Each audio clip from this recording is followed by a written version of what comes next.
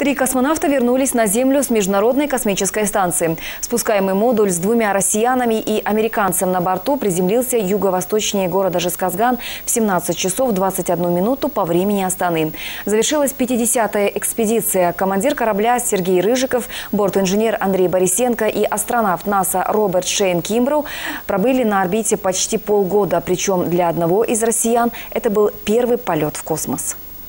Посадка произошла примерно в 150 километрах южнее города Жесказган. Ее обеспечивали почти 200 космических спасателей. В операции приняли участие порядка 14 вертолетов и 5 самолетов, а также поисково-эвакуационные амфибии.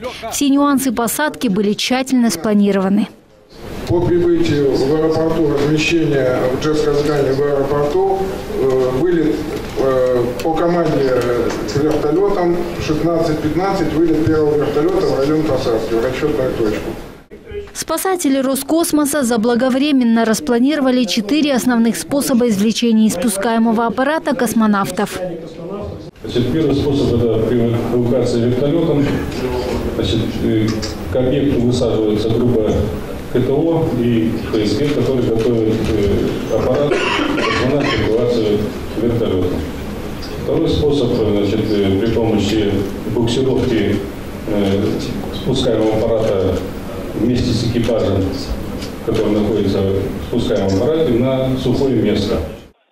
Программе 50-й экспедиции на МКС научно-прикладные исследования и эксперименты, проведение регламентных работ, связанных с поддержанием работоспособности станции и до оснащения ее оборудованием.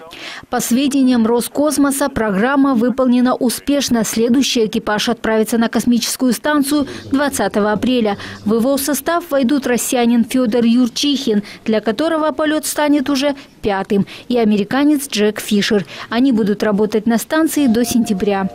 А я Мамрина Жаксалак Нуртай, Андрей Тимофеев, Первый, Карагандинский.